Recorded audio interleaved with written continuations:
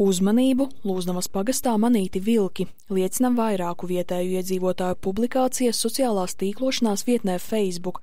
Viena no cietušajām ir arī piemājas saimniecības skudrīši saimniece Svetlana Skudra. Mājas pagalmā Maiziku ciemā vilki saplosīja viņas suni. Думали, что нас это не коснется. Domāju, ka tas mūs neskars, bet atnācu no rīta pabarot, acīs viss satumsa, likās, ka nokritīšu.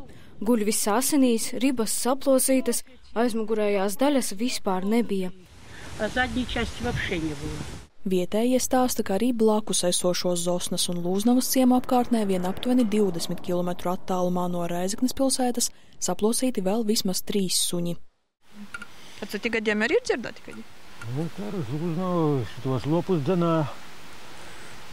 Tā kā kāds brīnums lops uztaigā pa pagalu. Valsts meža dienests par konkrētajiem gadījumiem informāciju nav saņēmis. Viena persona ir ziņojusi valsts policijai par pazudušu suni, kam iespējams uzbrukuši vilki. Fiksējot postījumus vietējiem medību kolektīviem, valsts meža dienests var izsniegt arī ārpus medību atļaujas vilku nomedīšanai, tāpēc ir svarīgi uzreiz ziņot gan par cietušiem, gan pazudušiem dzīvniekiem. Katrs gadījums ir svarīgs, jo nu, tas parāda šo, šo, š, šīs sadaļas problēmu. No šiem 55 gadījumiem, kas mums ir fiksēti, kur ir vilku uzbrukums, ja, 25 taisni ir austrumu ну, весмежniecībā. Как их истребить, или как их прогнать, или куда их выгнать? Прям война! Kā viņus iznīcināt, vai kā viņus aizdzīt un kurp? Pilnīgs karš. Es baidos no rīta un vakarā, cik vien agri iespējams slēdzos ciet un neeju laukā. Man visu laiku liekas, ka jau kaut kur sēž un gaida.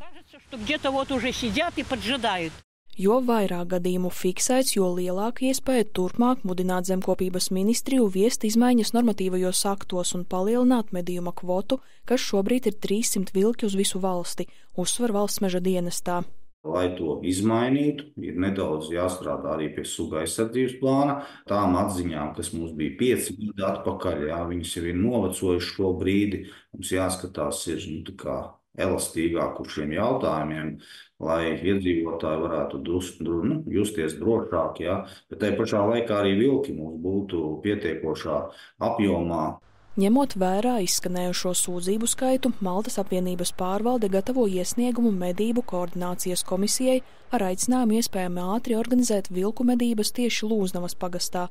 Pēc valsts meža dienesta datiem šobrīd Latvijā vilku skaits varētu būt līdz 1400 un viņi ir klātesoši aptuveni 75% teritorijas.